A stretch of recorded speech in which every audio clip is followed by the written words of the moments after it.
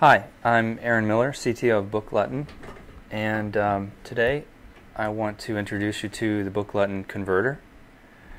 It converts HTML archives into EPUB documents which can be read on ebook devices. Converter is easy to get to.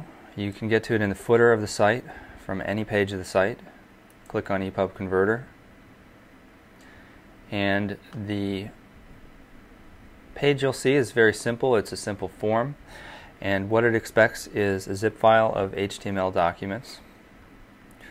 The easiest way to create that file is to start with our example. Download that, unzip it.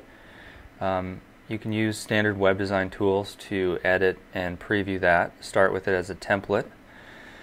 Um, and use the browser to preview or use the preview window in an authoring tool like Dreamweaver.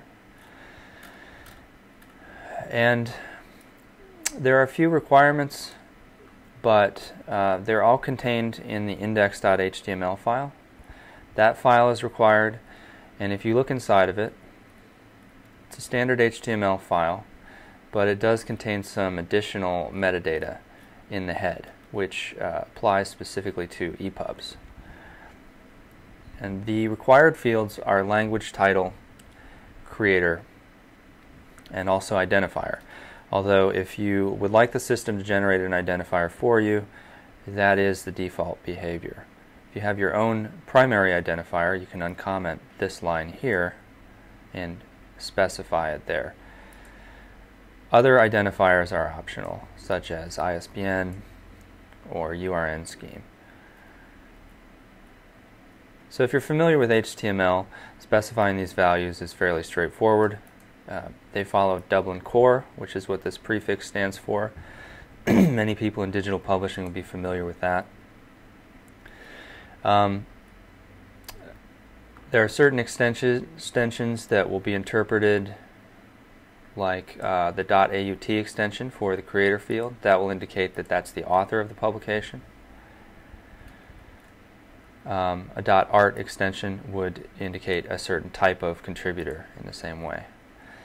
Date, description, publisher, coverage are all fields you can use. Those are, are optional. And of course you can include style sheets and images in your archive too.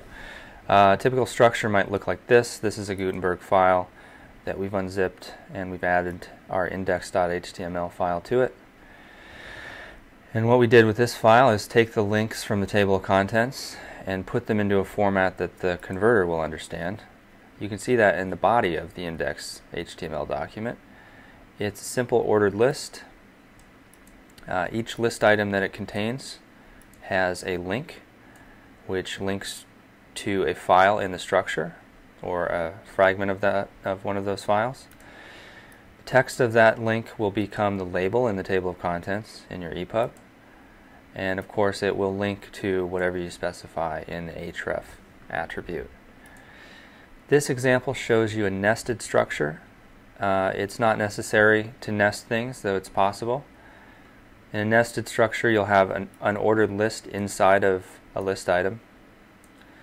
In a flat structure, you'll have something more like this, where you have an ordered list with a list of list items, each one containing a link and none of them containing another ordered list.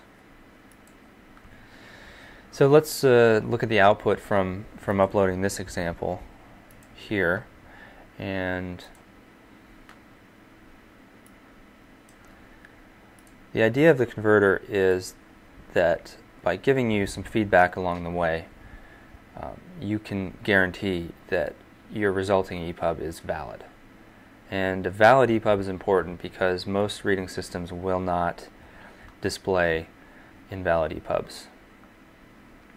Now, the standard is fairly strict in that sense. Uh, and so there are a few small validation errors that may be tolerated, but in general, you want to make sure your EPUB is valid, especially in this case where you're going to be paying for it.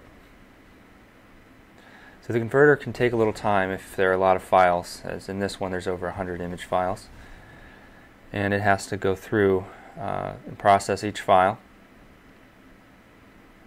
Take a little while.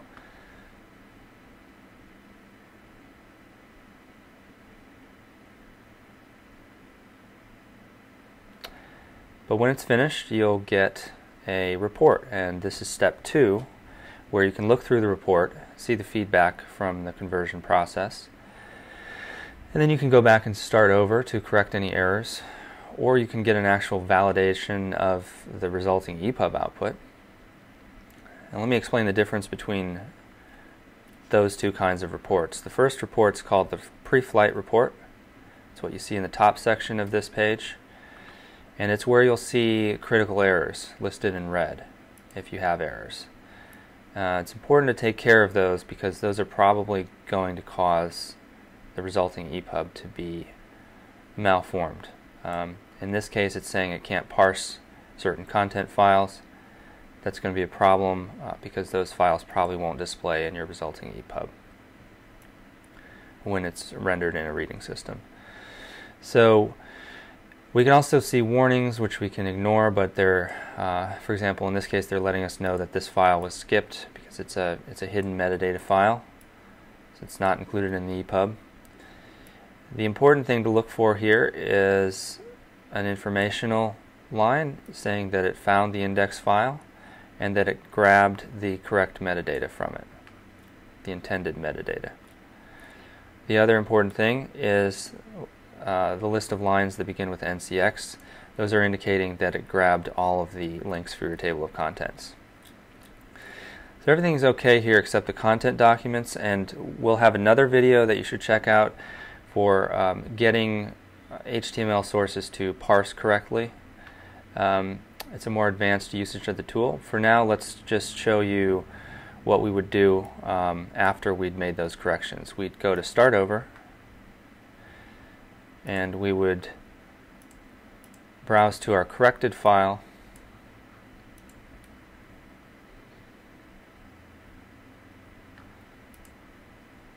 and we'd hit Step 2 to generate another report. And you can repeat this process as much as you need to. Uh, it can be quite involved or it can be quite easy depending on what your sources are. But the important thing is that you can get very detailed feedback along the way so that your end result is going to be valid. And in this case, we see a pre-flight report with no red lines. That's exactly what we want. We see that it found the index file. We see that it grabbed the correct metadata for it and that it added all of our table of contents items. All the images are there. There appear to be no errors.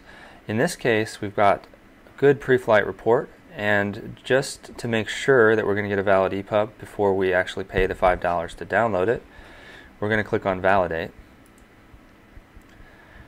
And that will use a tool called EPUB Check uh, released by Adobe, which is open source, um, and it it's sort of the official validation tool.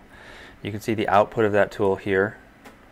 Uh, that can be very detailed if you have problems, and those can those, seeing those can also help you decipher what to do. Uh, we have some links to informational sites about that.